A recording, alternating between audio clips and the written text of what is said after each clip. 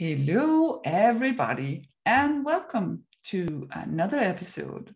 And I'm so happy to be here today with Karen Hewitt. We have talked before, and now I'm looking forward to catching up and doing it again. So, hi, Karen, and welcome. Thank you for being here. Thank you so much for having me. It's a pleasure. Oh, it's always good to be talking to other sensitive people, I find, because things always turn out to be interesting and meaningful and not all that small talk. So let's just dive in. So, would you please tell us a little bit about yourself? Of course. So, I'm an introvert. Mm and also a HSP, I'm a highly sensitive mm-hmm. person. Mm-hmm. I consider myself empathic. Mm. And I started on the online space, just doing businesses and trying to work and trying to contribute to my family mm-hmm. like eight years ago. Mm. And it mm. came this point where you decide, oh, I want to level up. I want to do more. I want to be more. I want to be more successful. Mm-hmm. So I did what everyone said and I hired coaches. Oh, yes. Okay. Because, you know, mm-hmm. they say shortcut, hire someone who can help you get there faster, teach yeah. you the ropes. And you know what? Every single one of them told me mm-hmm. no. stop being you and start being more extroverted. Be out there more, do more. Like, oh my gosh, no, you need to be louder. No, you need to be on stages. No, you need to be in videos. No, you need to be doing this. And so for the first several months, I tried. Yeah. I seriously tried and then I dealt with burnout. Yeah. And if you didn't know that there is this real thing that's introverted burnout or you know, mm-hmm. sensitive person burnout, where we feel overwhelmed by everything going on in our lives and we keep pushing and keep and by yeah. the end of it, it's not like, oh, I need a little break. It's like, oh, screw this, I'm done. I'm going to my room. You will not see me for three weeks. Yes. And you completely shut down. Yeah. And and that's when I was like, this cannot be how hmm. life is supposed to be. I'm not, yes, I wanted to work for myself. Yes, I wanted yeah. my own business. Yes, I wanted to set my own hours and have the freedom and not have to deal with the drama. Mm. But I didn't want to be exhausted all the time. No. Mm-mm. And that's what everyone was telling me was how you had to do it. And yeah. you've probably had people tell you, oh, you're not, you you work, if you're your own business, oh, now you need to be more extroverted. Yeah. You need to get out there more. Yes. Got to be visible, got to be loud, you got to post every day on Facebook, you have to message people, tell them how amazing your product is. And it's like, yes, it's exhausting. Yeah. And then you put that with, you know, I'm a mom of five kids mm-hmm. and we homeschool. And then I've got a house to take care of, business yeah. to take care of, kids to take care of, nonprofits yeah. to take care of. And I'm like, okay, so where does this come from? Where do I give in order to do everything? Yeah. And that's when I realized there had to be something out there that was different and better. Mm. So I started to learn about neuro linguistic programming. Ooh. Which is a, te- a scientific technique mm-hmm. with how you retrain your brain to see certain things, overcome certain obstacles become you can use it in sales in advertising ways to attract people but what i used it for was to really dig down to the core of introverts and sensitive people mm. and discover what their strengths were rather than their weaknesses mm. because what was happening was every weakness was being told to make a strength yeah no, no, no, no. Let's go with your strengths, lean into them, and make yeah. them stronger. Mm.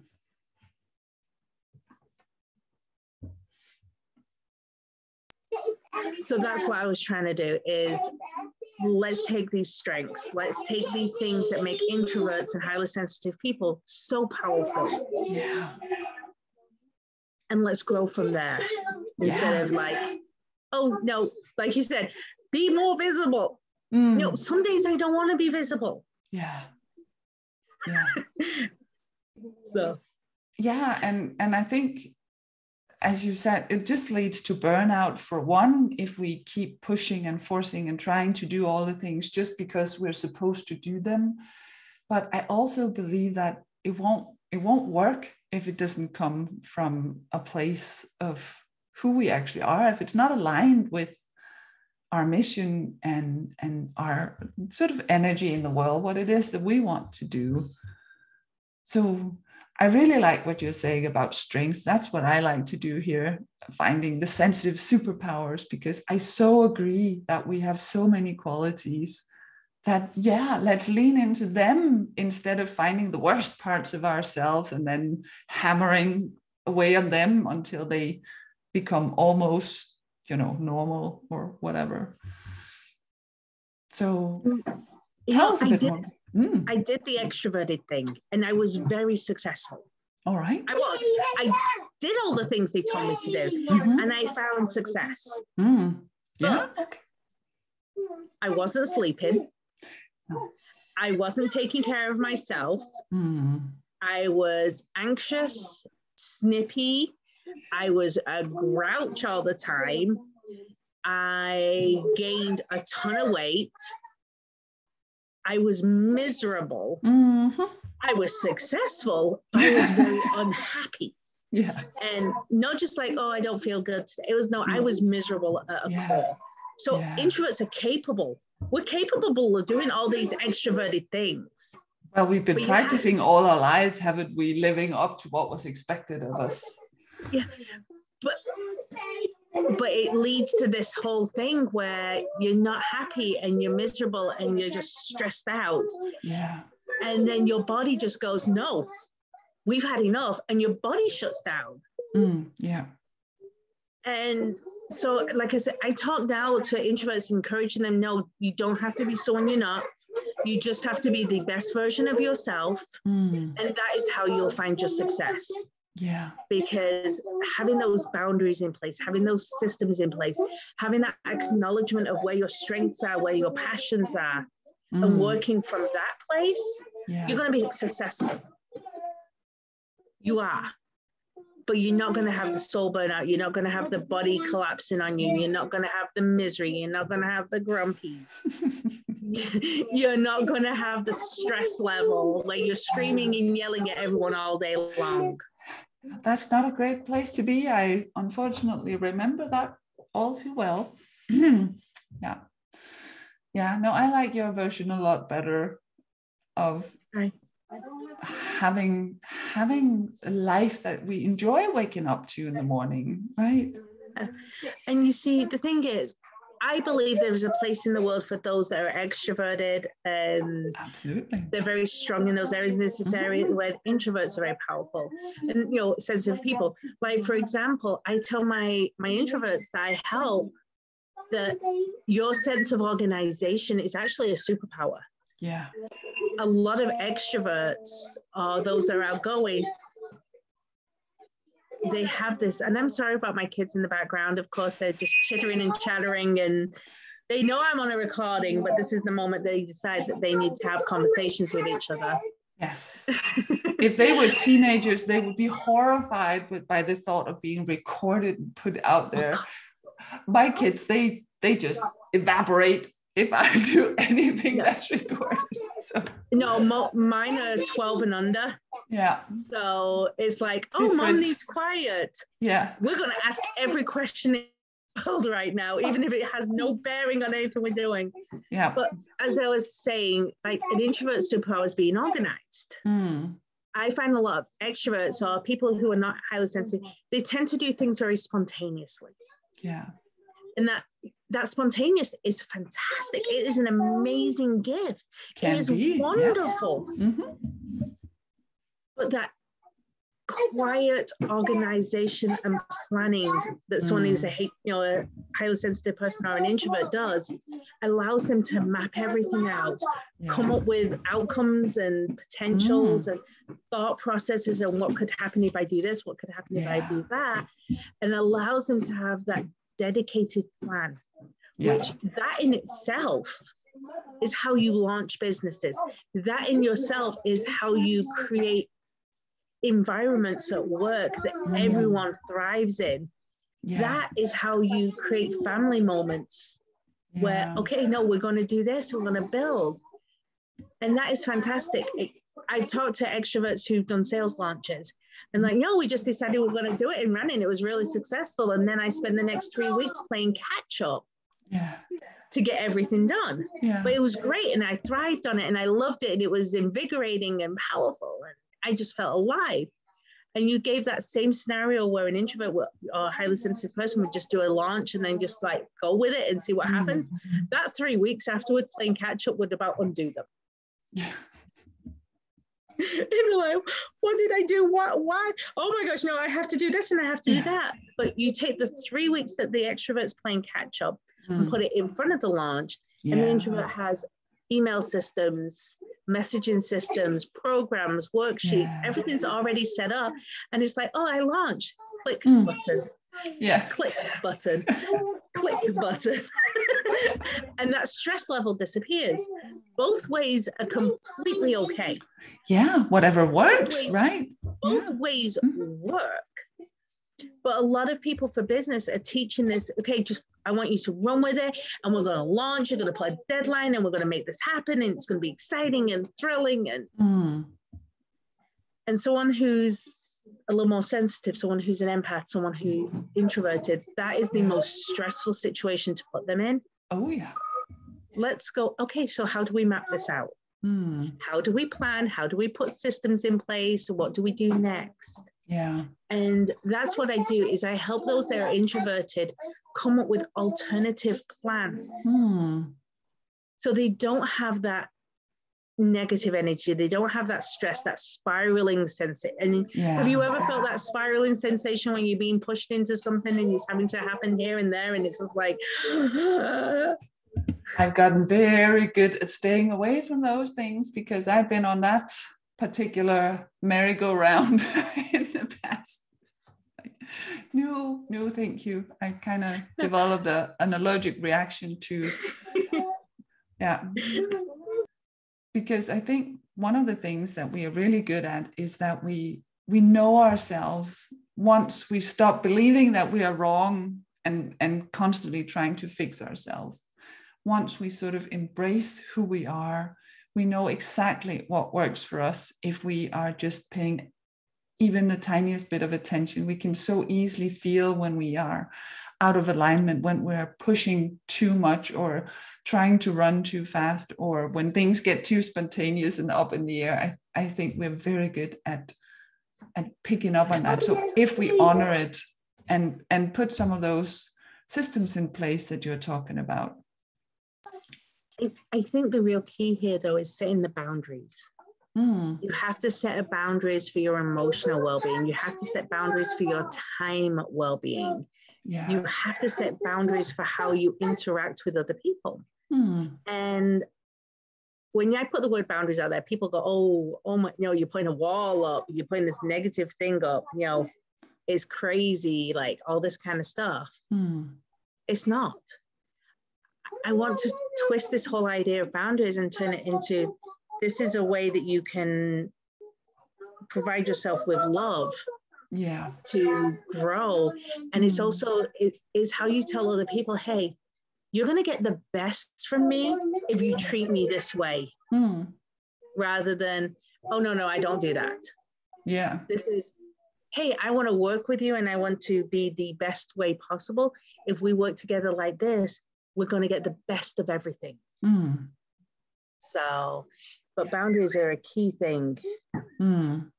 yeah and and i like you know setting them in in the right way not just like a no, I'm not going to do that, but sort of explaining it or or showing that I would like to do that. I just want to do or need to do it this way.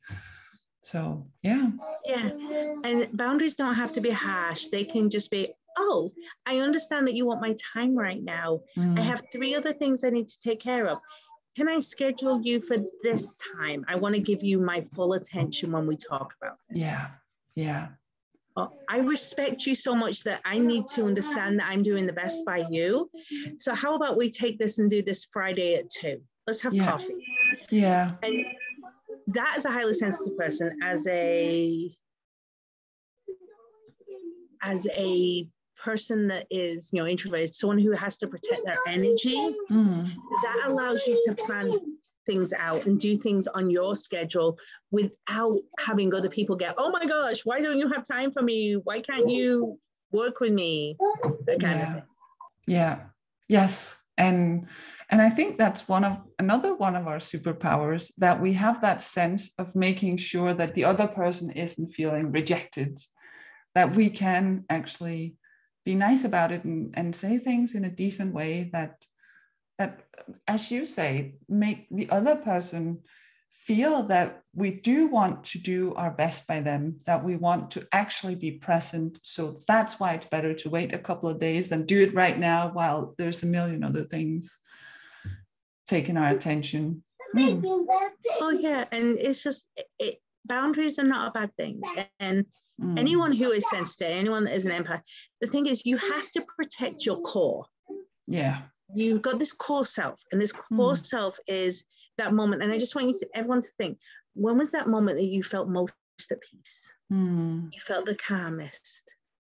You felt the most genuinely, authentically you and there's this there's this moment we all have it mm. and when we go back to that moment that is your core alignment that is yeah. where you're supposed to be operating from and yeah. the problem is and the problem is that we have so many people turning around and trying to pull us out of our core that yeah. it stresses us and then we're like no, I can't be in my core because it's not allowed to be because everyone else is pulling me from this and it cascades. Yeah.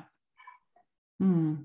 So something I tell everyone to do is you've got to find that. I mean, when I was explaining it, I, I saw your face. You kind of went there, didn't you? You kind of went to that core spot yeah. just for yeah. a moment. It was like, yeah. Oh yeah. Do you have it on your calendar to go to that course place every day? It's it's one of the first things I do in the morning. I meditate and I journal because it yeah. is such foundational thing to to have that inner connection and never get too far away from it i find yeah you realize how many people don't put that on time they, they'll mm. put their mm. work schedule on the calendar they'll put their yeah. school schedule on the calendar they'll put their kids yeah. schedule on the calendar yeah, yep. doctor's appointments on the calendar mm-hmm, mm-hmm. everything that they have to be here do there go there where what about you yep you are just as important. And I love that you meditate and journal, and that is an assigned place on your calendar. Mm. And I'm going to encourage everyone, even if yeah. it's for five minutes. Yeah, yeah. All I'm going to do is five minutes where I go back to my aligned core. Mm. It needs to go on your calendar. It needs to go there because that is how the more often you go there, and it's like muscle memory. Yeah, absolutely. Mm. Because if you find that if something happens and you don't meditate, you don't spend that five minutes on yourself, the next day it's harder to get back there. Yeah. But if for some reason you're having a rough day and you do it two or three times, mm. the next day is like, oh, I'm right back there already. It's like, oh, yeah. oh, okay, peace. Yes. It feels good. Yes, absolutely. Being able to recognize it and and find our way back to it I think for some people, it's walking in nature or listening to music or gardening or whatever it is. It doesn't have to be, you know, um, sort of traditional meditation or anything, whatever it is. And then, as you say, prioritize it because there really isn't anything more important because to me, that is my source of energy, is where I go to recharge so yeah it's like when my phone's running low i plug it in. I have to do that too and on a regular basis as you say. And so many people forget to plug themselves in. Yeah. and it's not like we're trying to put a lot of people like think it's plugging themselves into the world. No it's into yourself. Yes. Yeah. Take that moment to find out where you're at at this moment. How do you feel? What is mm. going on? And if you're overwhelmed I always tell people brain dump. Get a pen and paper, just doesn't matter how ridiculous it sounds. Yeah. It doesn't matter how unorganized, how chaotic, mm-hmm, mm-hmm. or every single thought, just write it down. Just write it, just write it, just write it, just write it, just write it, and just put it on paper because you know once it's on paper, you can sort it out later. Yeah. Yes. And that the brain can relax. The brain, yeah, the brain can relax you just love the commentary from my children? Yeah. they're such they're such blessings and they keep me on my toes and they're definitely not introverted most of the time they're very extroverted yeah. so they take the energy and you have to just go a moment please I, I bet you're really good at finding your sort of inner inner place you have to be right in in the oh, middle oh, yeah. of all that that yeah. really mm-hmm and that is a question I get a lot is like, how do I find that when so much is going on? Mm. And it's like, they just take a moment and breathe. And the more you do it, the more you meditate, the more you journal, the more you do those moments where you connect yourself, you can yeah. be in the middle of complete chaos mm-hmm. and just, okay, I'm back yeah and it, it becomes that quick snap you can just snap back into it yeah. if you know how it feels and how mm. what it hmm. takes for you to get there so i'm going to encourage everyone find that journey find that path and like I said, it can be gardening, it can be painting, it could be mm, singing yeah. terribly in the shower. Yes. it is it yeah. is so individualized and it's what yeah. is that moment for you. Mm-hmm. And once you have that, it's just, mm, yeah. Yeah. Yes. Then you can be podcasting in the middle of kids and and everything and still, you know, keep it together. I mean, if that's not proof enough, I don't know what mom could could need more than that. I mean, ah, yeah, yeah, that's so good. Yeah thank you very much for that because that's very, very practical advice. I like that. That's something we can actually decide to go and do every day, not just for ourselves, but for our surroundings as well. And and I think the better we are, the more balanced, the more aligned we are, the better for everybody, and including sort of the big picture. So so if we're ending on that note, what would you like to be your legacy for the future? My legacy for the future is mm. my focus is introverts, which, yes, yeah. I would say 90% of introverts are highly sensitive people. Yeah, yeah. I they think really there's a big are. overlap. Absolutely. There is a huge mm. overlap. And the reason I went down this path is I was really tired mm. Being told not good enough, not yeah. doing enough, not worthy, not capable, you know, mm-hmm. all those negative bombardments. Yeah. Actually, no, you're perfectly capable, you're perfectly worthy, you're perfectly beautifully balanced and amazing mm. and phenomenal. And I just want to celebrate. And my legacy is I want introverts or highly sensitive people to just see how great they are, how amazing, how impactful. Because yeah. I have this belief that we need both the introvert and the extrovert. We need both Absolutely. sides of the coin to make the mm-hmm. world turn. Yeah. And for some reason, the world is telling introverts that they can't. No, you can. Yes. So I can leave anything with my legacy is I want introverts to take back their personal power, to mm. step into the best version of themselves, not of what someone else tells them to be, not of what someone else encourages themselves, because yes. that is the person the world needs. Mm. And they'll never know how they can impact something or someone or some method or some system unless they're willing to be 100% authentic. Absolutely. And I want them to have that power. That is what I want my legacy, that I can help someone have that power to be themselves. Mm. The world needs them. Yes. Yes. I like that very much. And I hope our conversation here today has contributed, that there's someone listening who's like, yeah, she's so right. I get to be me. I get to do life my way. I even get to do business my mm-hmm. way without having to, you know, contort yourself into some kind of mold that doesn't fit at all. Yeah. yeah. So thank you so much for being here. Oh, you're so welcome. It's been an absolute pleasure. Yes. it has. I have enjoyed it very much. And now your kid's gone quiet. I told you the minute I need to speak, they like to be loud. And the minute I'm like, okay, now this is all wrapping up. And they'll be silent for the next three hours. And you'll be like, really? you couldn't yes. do that before? No, well, I mean, that's life, isn't it? Ah, and when we find our our happy and aligned place, we can handle that as well. So, yeah. so all the moms out there, just because yes. you have kids running around crazy, does not mean that you can't make a difference. Point proven right here. so thank you very much for that, and I hope you and your kids have a great day. Thank you so much. Bye for now.